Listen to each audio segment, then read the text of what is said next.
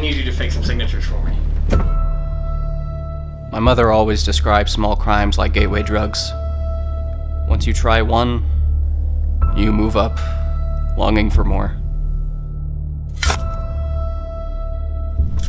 No, you fucking moron. Sign my name. Never just sign these papers. Signatures take practice. A simple wrong curl would get me caught.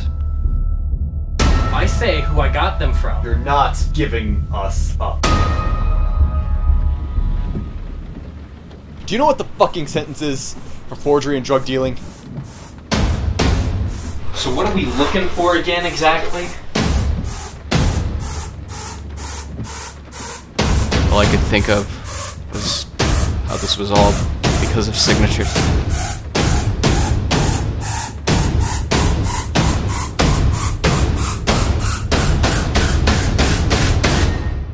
All of this. What, for a bunch of fucking signatures?